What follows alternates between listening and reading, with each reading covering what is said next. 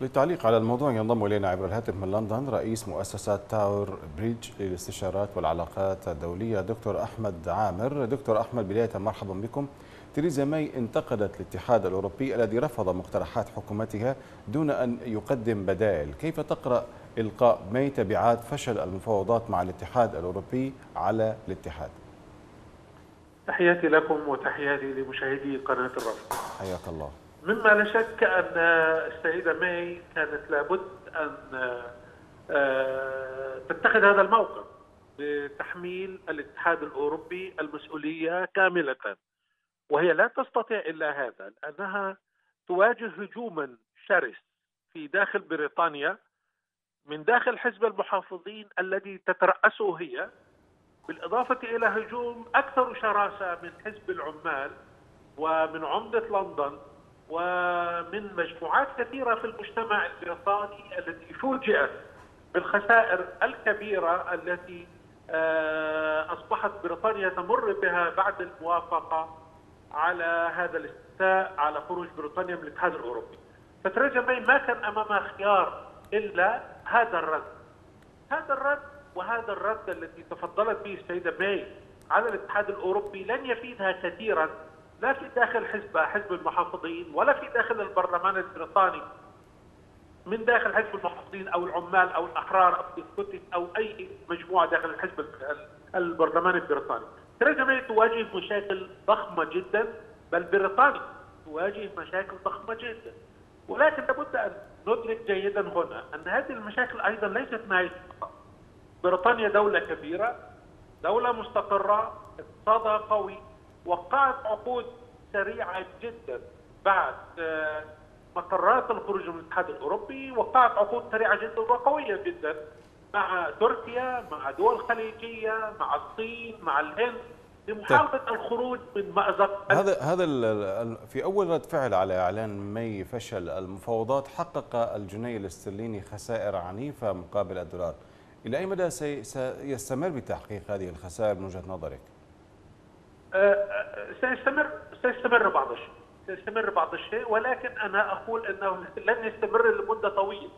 أرجع وأقول أن العلاقات التجارية البريطانية مع الهند مع الصين مع تركيا مع دول الخليج مع غيرها واتفاقيات كثيرة تجارية وقعتها بريطانيا آه ستساعد الاقتصاد البريطاني، بريطانيا دولة قوية، ولكن مما لا شك أن خروج بريطانيا بالاتحاد الأوروبي تبين لكل المحللين حتى الذين وقفوا مع الخروج في البداية تبين لهم أنه كان قرار خاطئ وتبين للشعب البريطاني الذي صوت على الخروج أن هذا القرار كان قرار خاطئ أدى إلى خروج كبريات الشركات الأوروبية والدولية من بريطانيا والذهاب إلى آه، ألمانيا أو إلى بلجيكا للعمل داخل الاتحاد الأوروبي والخروج داخل بريطانيا. بريطانيا خسرت وخسرت كثيرا ولكن ليس كما يصور البعض هو انهيار لبريطانيا، بريطانيا دولة كبيرة واقتصادها قوي وستبقى ولكن خسرت. نعم خسرت. أليس هذا كان اختيار المواطن البريطاني؟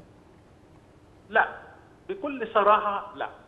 الواقع الفعلي أن النتيجة طلعت لصالح خروج بريطانيا من الاتحاد الأوروبي وظهر كأن هذا تصويت المواطن البريطاني.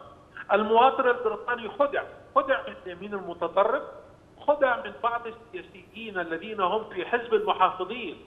مثل وزير الخارجية الذي استقال وخرج بعد فضيحة كبيرة لهجومه على المنتخبات والمحجبات في بريطانيا أستاذ بوريس جونسون.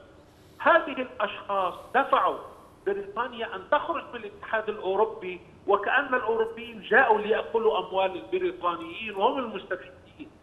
في الوقت الذي وقف فيه رئيس وزراء بريطانيا السابق ديفيد كاميرون ضد هذا القرار وقف فيه السيد توني بلير جوردن براون كل رؤساء الوزراء السابقين وكبريات الشخصيات البريطانية المرموقة والمشهورة والاقتصاديين ضد هذا القرار. والآن يأتي الإعلام البريطاني ليلتقي مع كثيرين ممن ممن صوتوا للخروج من الاتحاد الأوروبي ليقولوا نعم نحن أخطأنا نعم نحن خدعنا من قبل اليمين المتطرف. صحيفة التلغراف تقول إن بعض الوزراء سيستقيلون ما لم تقدم مي خطة بديلة للخروج من الاتحاد. إلى أي مدى تعتقد أن التصدع ينتظر حكومة مي إثر هذا الفشل؟ للأسف الشديد هذا الكلام سليم جدا وتهديدات الوزراء قائمة وتهديدات أعضاء في حكومة السيدة ماي وتهديدات أعضاء في حزب المحافظين قائمة الوضع صعب بالنسبة للسيدة تريزا ماي هي تواجه مشاكل ليست سهلة على الإطلاق لكن في نفس الوقت هل تتصدى الحكومة؟ ستحاول أن ترقع وأريد أستخدم هذه العبارة مرة ترقع الأمر داخل حكومة المحافظين وتحالفاتها حتى تبقى الحكومة فترة ممكنة أكثر. في نفس الوقت تواجه طبعا هجوم شرس جدا من حزب العمال المتماسك خلف السيد جيرمي كوربن ولكن القضية ليست سهلة ليست سهلة على الإطلاق. مرحلة فعلا محرجة وحاسمة بالنسبة للسيدة تريزا الوزراء البريطاني من لندن رئيس مؤسسة تاور بريدج للاستشارات والعلاقات الدولية دكتور أحمد عامر شكرا جزيلا لك.